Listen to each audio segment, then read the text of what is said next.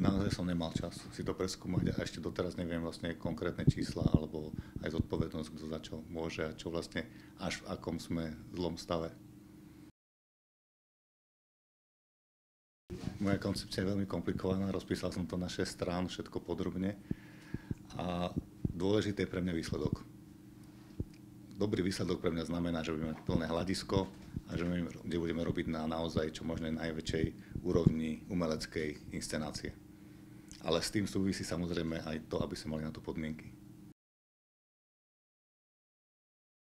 Financie sú naozaj veľkým problémom, s tým to súvisí, bez toho sa nepohneme určite ďalej, nebudeme rásť hore. Ale ja verím, že po mojom rozhovore aj s pani ministerkou, ktorá je úžasná dáma, ktorá si ma veľmi láskavo vypočula, myslím, že chápe všetko a sme na jednej, ideme jedným smerom.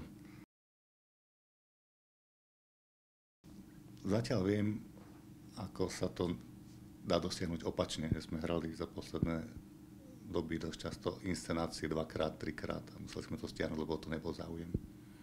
Tak viem, že touto cestou ísť nechcem. Chcem presne vedieť dopredu režisérovú koncepciu.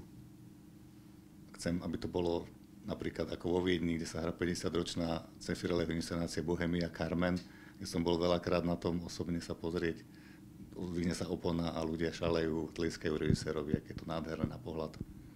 Nechcem mi to žiadny gičov, naozaj opakujem, chcem mi to umelecky na vysokej úrovni inscenácií.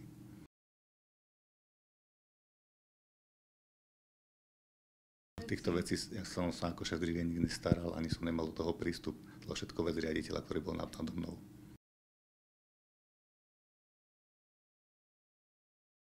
Samozrejme, po umeleckej stránke som to riešil. Čo sa týka hráčov, samozrejme viem, aké majú ohodnotenie finančné. Je to naozaj veľmi biedné pokiaľ to nezlepšíme, tak nebudeme zlepšovať nej kvalitu. Súvisí to jedno s druhým.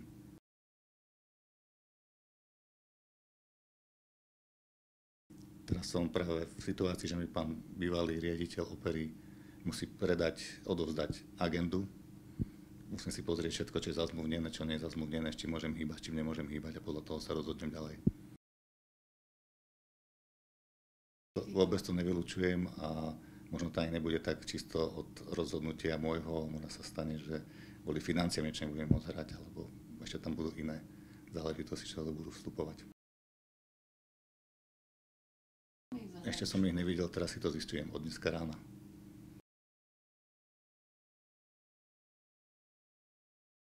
Pani ministerka má na to samozrejme právo buď menovať, alebo vypísať konkurs. Takže nebojím sa toho, pretože som sa s ňou rozprával viacejkrát a absolútne dôverujem naozaj.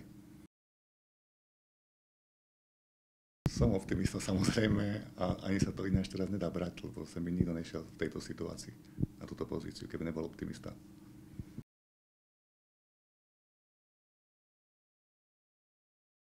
Riešil som absolútne najzákladnejšie veci. Predstavoval som moju koncepciu jednotlivým súborom, zložkám. Stretol som sa s orchestrom, stretol som sa so zborom speváckým. V piatok sa stretávam o 9 ráno so solistami.